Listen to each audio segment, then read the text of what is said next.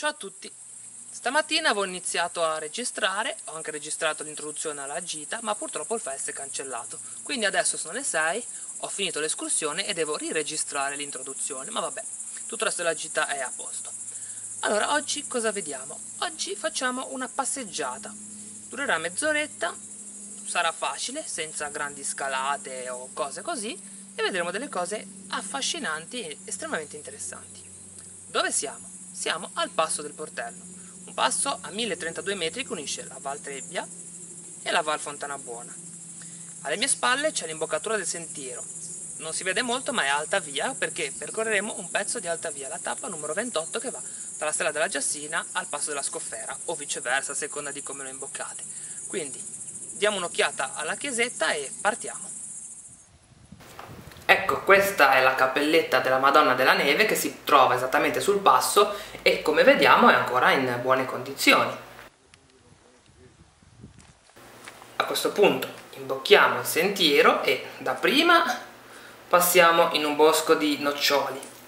Poi il bosco si trasforma pian piano sempre di più fino a ritrovarci immersi in una faggeta. In questo periodo dell'anno, ovvero fine estate, è facile incontrare varie specie di funghi, come ad esempio le ammanite, le vesce o se siete molto fortunati anche dei bei porcini. Ok, dopo un po' che avete percorso la faggeta, qua in videocamera forse non si vede tanto bene, ma nella realtà ve ne accorgerete subito, alla vostra sinistra si apre il bosco si intravede un pezzo di prato e delle rocce, una specie di scarpata.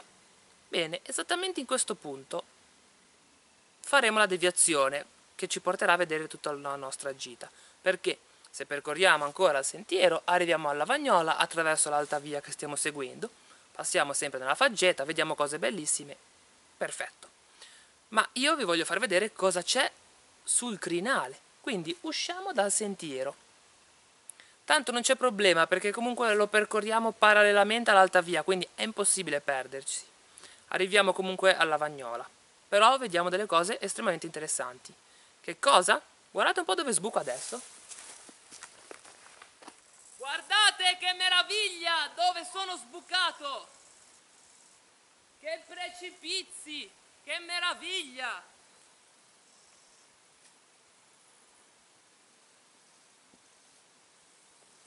Adesso vediamo di cosa si tratta.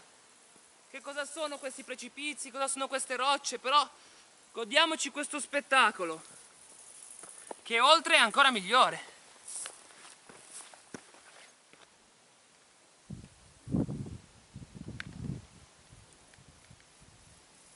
Siamo come su un enorme terrazzo naturale che ci dà l'impressione quasi di volare. E non è solamente in questo punto, perché la cresta prosegue fino al Big Montaldo, monte che ci si para davanti e che anche questo ha delle pareti estremamente scoscese come possiamo vedere. Su queste pareti trovano rifugio uccelli come i rapaci ma anche e soprattutto una colonia di capre selvatiche che è facilmente eh, osservabile in questo tratto di sentiero e che riesce tranquillamente a muoversi nonostante la forte acclività della montagna.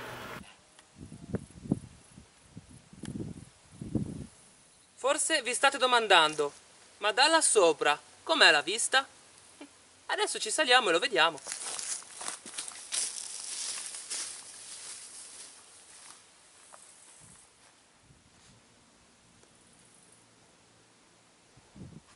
Finalmente in vetta al Brick Montaldo. Siamo a 1136 metri sul livello del mare. Alle mie spalle il crinale che arriva fino al passo del portello che in parte abbiamo percorso e che ci mostra da qui tutta la sua acclività. Già, ma come mai è così scosceso? E soprattutto, se osserviamo bene, sia questo crinale, sia il Brick Montaldo, se ci ricordiamo come è fatto, notiamo che ci sono queste forme quasi cupolari. Bene, è tutto merito della roccia che emerge in questo punto. Siamo sulle argilliti del Monte Lavagnola, Argilliti, quindi rocce che derivano da sedimenti argillitici, che sono i sedimenti più fini che possano esistere. Questo fatto imprime alla roccia che poi si formerà una grande erodibilità a causa degli agenti atmosferici, dell'acqua, eccetera. Quindi, questo spiega come mai intanto questi versanti sono così scoscesi, dove il substrato emerge così, e soprattutto perché dove sempre emerge le forme sono così arrotondate, perché sono stati gli agenti atmosferici, come il ghiaccio, il vento, la neve, la pioggia, che hanno modellato e arrotondato in questa maniera queste rocce. Adesso vi faccio vedere cosa si vede da qui perché è altrettanto interessante e affascinante. Abbiamo Torriglia con il monte Prelà e alle sue spalle il monte Antola. Scorrendo invece, sempre la catena dell'Antola, la Val Brugneto, la, il monte Lesima, la vetta della Val Trebbia, quel paesino laggiù è Santa Maria del Porto, il monte Ebro,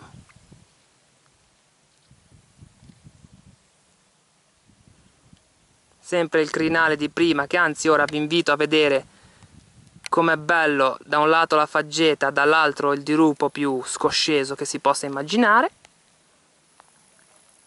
E ritorniamo a vedere la cinta di montagne con le cime sempre della Val Trebbia ma in questo caso quelle alle spalle del, di Fontanigorda per cui Monte Gifarco eccetera.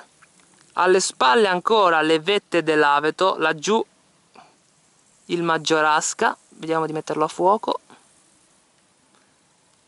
scorrendo ancora un po' il profilo caratteristico del Monte Aiona, è inconfondibile ed è visibile da quasi tutte le postazioni in cui io sono stato. Scorriamo ancora. e vediamo il monte Ramaceto. Purtroppo oggi c'è un po' di foschia, quindi non si vede perfettamente. Quello è il monte Caucaso, su cui presto faremo un'altra gita.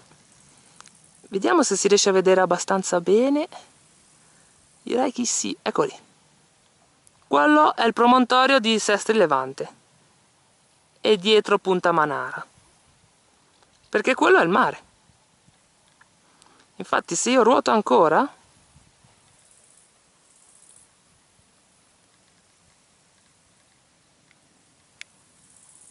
il monte di Portofino e Punta Chiappa.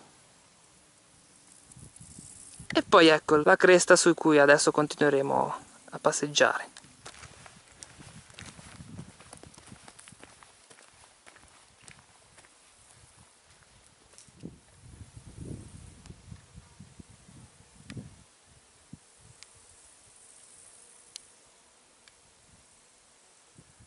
Se la verticalità non vi è ancora bastata e soprattutto se non soffrite di vertigini,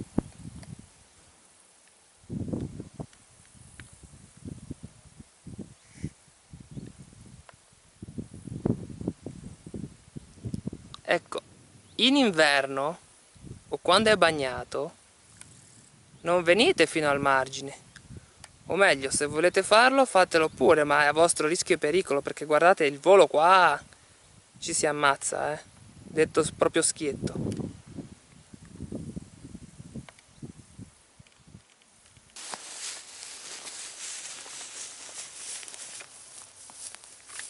Ormai manca poco, eccola la vetta della Vagnola.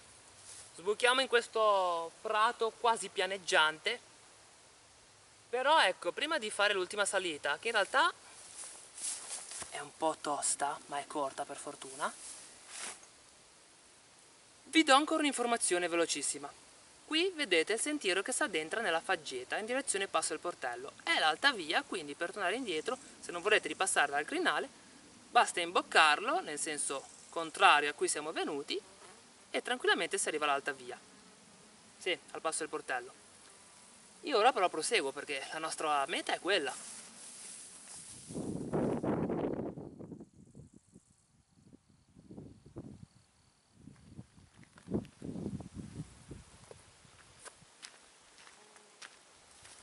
Finalmente lo vediamo da vicino, il cippo in vetta al Monte Lavagnola. Abbiamo raggiunto 1118 metri sul livello del mare. Quella lapide ci ricorda che è stata posta a memoria dei soci del CAI Ligure che sono caduti durante la prima guerra mondiale. sempre sull'iscrizione c'è scritto anche perché è stata messa qua questa lapide. Perché qua, come anche più in giù al passo della Scoffera, si combatté nel 1747 a difesa della Repubblica di Genova. Difesa contro chi? Contro l'attacco degli austriaci e dei Savoia. Qui in vetta c'è un tavolino in cui si può pranzare e quella panchina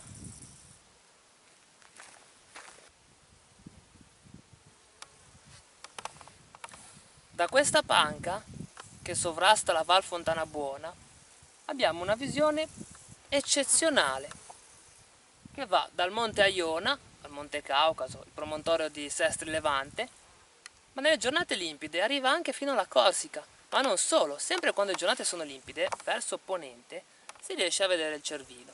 Quindi dobbiamo ringraziare il Parco dell'Antola che ha posto questa panca in questa posizione panoramica. Quindi sulla Vagnola, dal passo del portello, in una mezz'oretta ci si arriva. È una semplice scampagnata quasi, basta non camminare proprio sul ciglio, o meglio se volete farlo fatelo, però non so, se avete istinti suicidi, ecco, potete farlo, se no meglio non farlo. E arrivate qua alla Lavagnola. La Lavagnola può essere raggiunto anche dal passo della Scoffera, seguendo l'alta via, oppure la Torriglia, seguendo il sentiero dell'anello di Torriglia, che è un sentiero del Parco dell'Antolo. Questi due sentieri poi li faremo e ve li farò vedere come ci si arriva. Però diciamo che dal portello è il più breve, mezz'ora, 40 minuti siete qui. Poi quando siete qui vi siete su questa bella panca e se la giornata è più limpida di oggi, perché oggi c'è molta foschia, vi sedete e ascoltate i suoni della natura guardando questo enorme scenario che vi si para davanti. Direi che a questo punto quello che dovevo dirvelo ve l'ho detto. Quindi possiamo chiudere il filmato così. Io come al solito vi ringrazio, in descrizione metterò come al solito tutti i vari link per, per Facebook, per il mio sito. Come al solito ringrazio tutti i fan, tra virgolette, che però in realtà io considero amici, che mi seguono e mi supportano e alla prossima!